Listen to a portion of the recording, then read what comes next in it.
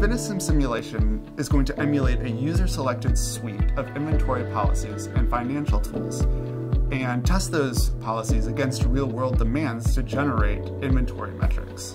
FINISIM offers a large suite of analytical tools with which an analyst can examine the simulation events and the output metrics and then break those down in order to build out the narrative of what's going on with your data.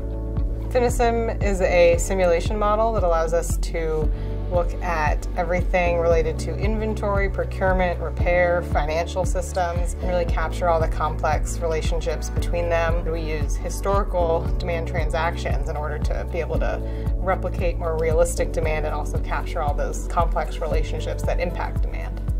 Say that you're an inventory manager and you're working for an organization that relies on federal funding to make reprocurements. And you get the news one day that your budget's being cut by 20%. You want to go in and figure out how that's going to impact you. It's going to impact your ability to fulfill customer demand as well as uh, any financial metrics that you're tracking. Well, if you load up FINISIM, you can plug in your current funding levels, you can plug in the new anticipated funding levels, and you can run simulations and examine metrics, generate graphics that are going to tell you what are my probabilities of running out of funds in five months, 10 months, a year. We use uh, empirical demand generators or randomized demand history so we can predict or assess how levels will interact uh, based upon different demand histories. We use dynamic inventory models where you're updating your inventory policy and positions frequently, and that lets you capture effects like levels churn that you would totally miss if you were using just static inventory model. We have a successful eight-year track record at DLA. The key benefits for DLA um,